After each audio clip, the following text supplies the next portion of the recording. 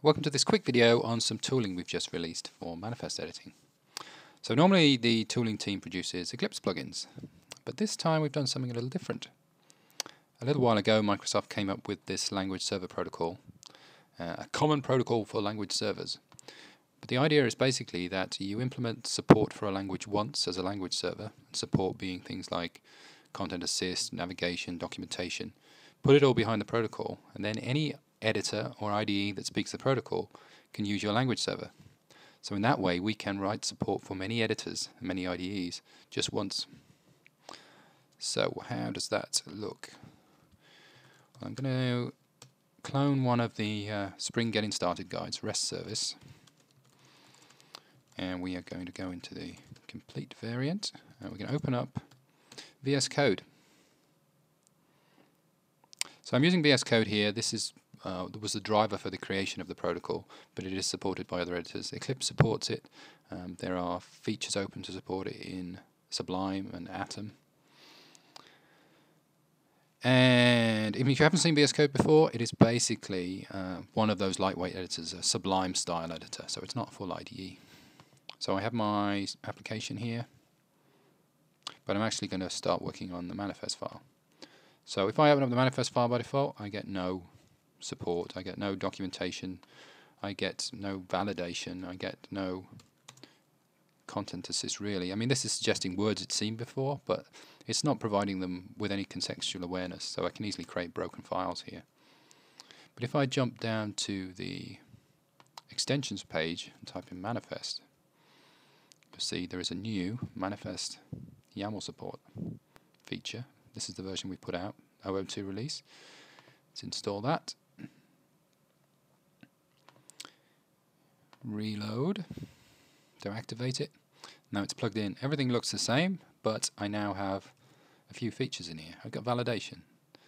And if I hover, I've got documentation and feedback on the errors. So this is complaining that uh, this expects to be something M or MB or G or GB, and it's not. So I can fix that and the squigglies will go away. I get hover help for all the other keys in here so this is scraped from the Cloud Foundry documentation. It includes examples of usage. I get content assist, so I'm going to use disk quota here. And it will suggest common values I might want to put there. So that's all good, but everything I've shown you so far was kind of static validation. Um, we actually have some support for dynamic content assist. So something like build pack, um, the answers you want here may depend on what the backend supports. And you'll see here at the moment it's saying I, I don't know what the backend is, so I can't suggest which build packs you might want to use. Why don't you use the CFCLI to log in? So why don't we try that? So I'm going to log into PWS.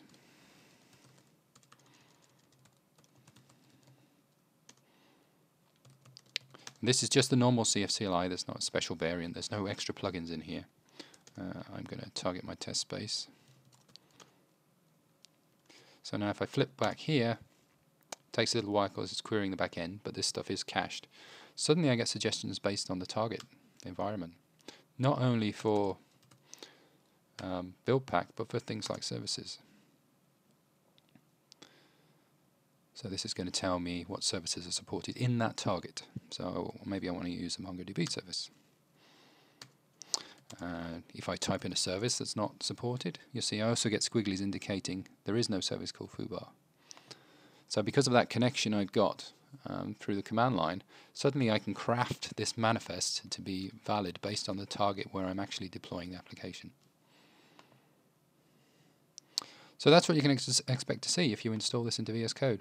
And this is implemented as a language server, so the next version of STS is going to be using exactly the same support through the language server protocol and as other IDEs pop up as soon as Atom supports LSP, with a little bit of glue code you can plug in the language server and get the same support in that editor.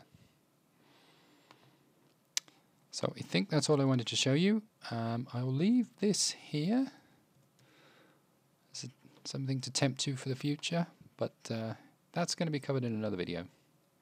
Thank you for watching.